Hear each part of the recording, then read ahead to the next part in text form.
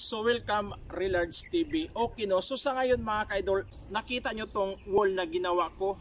Wall para sa, sa kanal ko someday. Okay, ang tanong ganito, yung ginamit kong purma sa wall na ito, maniniwala ba kayo mga ka-idol na kahit piso ay wala akong gasto sa purmang ginawa ko. So kung gusto nyong malaman, tapusin nyo lang ang video ito pagkatapos ng aking intro. Kung bago pa lang kayo sa channel ko, don't forget to subscribe or click subscribe, hit the bell para manotify kayo or para masundan ninyo ang mga susunod upload na mga videos ko. Thank you!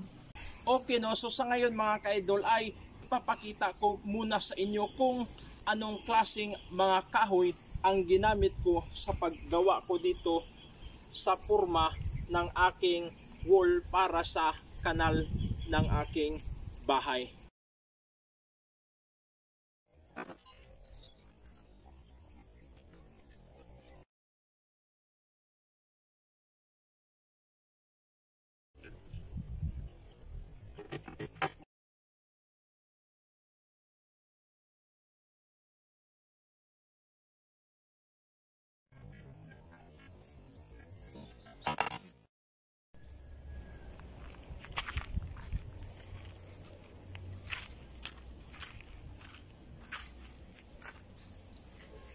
So okay no, nakita nyo mga ka-idol na yung ginawa kong ah, purma para dito sa wall ng aking kanal ay mga retaso na kahoy lang.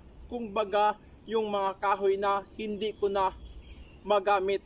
Kung baga yung mga kahoy na mga reject-reject na. So yun ang ginawa kong purma para hindi ako makagasto. Kung baga parang makalist ako sa gasto dito. So